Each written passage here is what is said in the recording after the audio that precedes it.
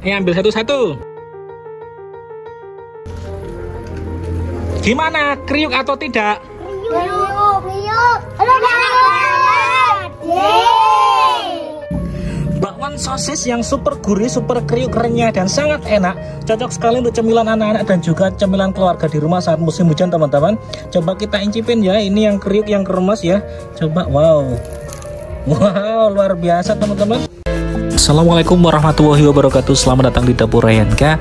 Jangan lupa bantu like, komen, dan subscribe di video ini. Semoga bermanfaat dan Anda sehat selalu.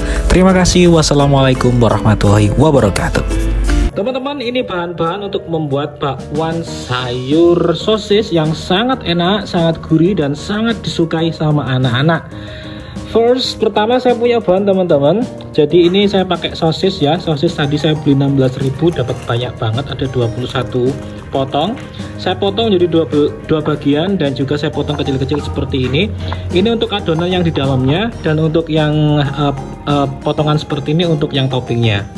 Terus saya punya teman-teman daun bawang dan juga daun seledri. Ada dua ada dua bawang putih dan juga empat uh, bawang merah. Untuk tepungnya teman-teman, Tepungnya ini ada 15 sendok makan uh, tepung terigu dan juga 4 sendok makan tepung beras. Next, teman-teman, saya punya kecambah ya. Kecambahnya ini 100 gram kecambah. Uh, dan juga saya punya satu sendok makan margarnya sudah saya lelehkan. Ini baking powdernya ini ada setengah sendok teh. Terus untuk seasoningnya satu sendok makan uh, garam. Ini penyedap ya, penyedap terserah Anda. Ini bisa pakai bisa Anda. Dan ini setengah sendok teh uh, merica bubuk. Yuk kita masuk ke dalam proses selanjutnya. Ini saya blender dulu teman-teman. Bisa anda blender bisa anda bulek ya.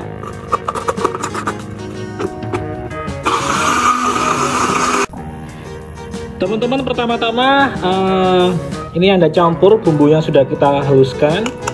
Anda masukkan ini teman-teman airnya ya. Airnya 175 ml air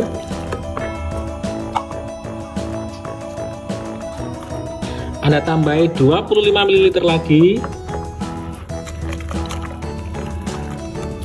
Jadi total airnya 200 ml air teman-teman. Oke um, kalau sudah seperti ini Anda masukkan si sosis teman-teman. Sosis yang dipotong kecil-kecil tadi ya kita masukkan untuk yang dipotong besar untuk topping nanti ya.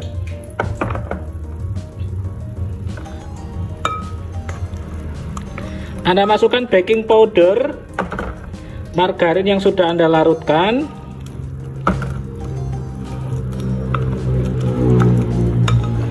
Sayur cambah teman-teman atau toge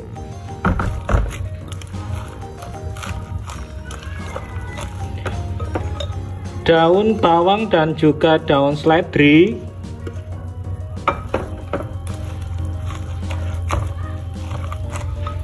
Dan juga seasoningnya teman-teman. Penyedap garam dan juga lada bubuk.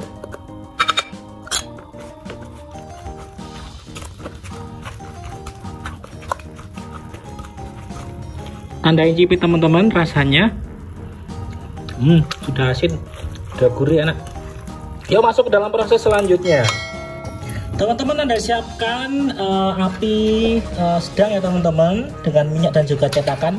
Bisa anda cetak bisa anda langsung goreng di pinggirnya. Terserah teman-teman ya. Kalau sudah seperti ini teman-teman sekarang anda taburi uh, sosis ya di atasnya kasih topping. Ini anak-anak pasti suka banget teman-teman. Nah double topping teman-teman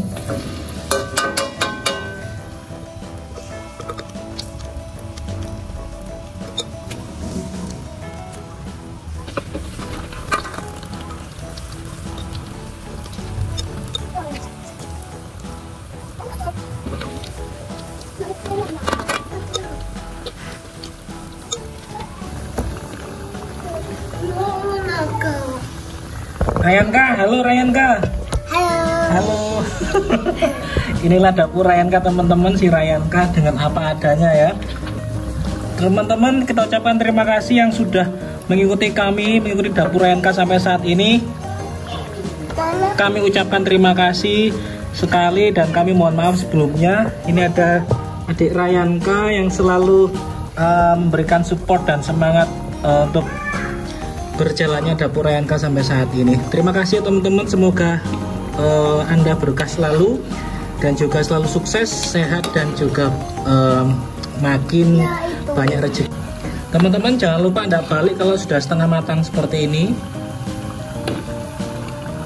Ini anak-anak pasti sangat suka teman-teman.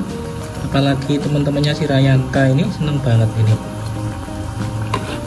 Kriuk, renyah, gurih, crispy, gorengan krip yang yang ada di dapur Rayanka terima kasih. Teman-teman kalau sudah golden brown kuning kemasan seperti ini sosisnya sudah mateng bisa anda angkat